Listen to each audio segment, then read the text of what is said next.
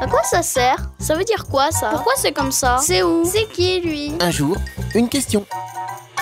C'est quoi un militant? À l'origine, un militant était une personne qui combattait les armes à la main pour défendre ses idées.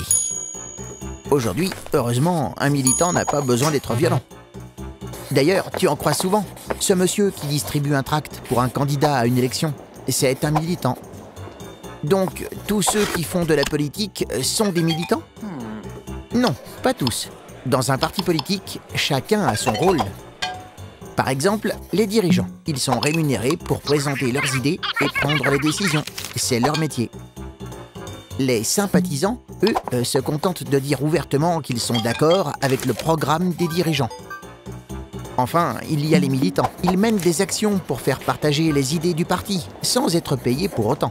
On dit qu'ils le font bénévolement. Coller des affiches, faire signer des pétitions, débattre, il y a plein de façons de militer. Mais alors, les militants appartiennent tous à un parti politique? Non, pas forcément. Certains agissent dans un syndicat. Tu sais, euh, ces associations de travailleurs qui se réunissent pour garantir leurs droits. On appelle aussi militants ceux qui défendent des idées solidaires comme le respect de l'environnement ou la lutte contre le racisme.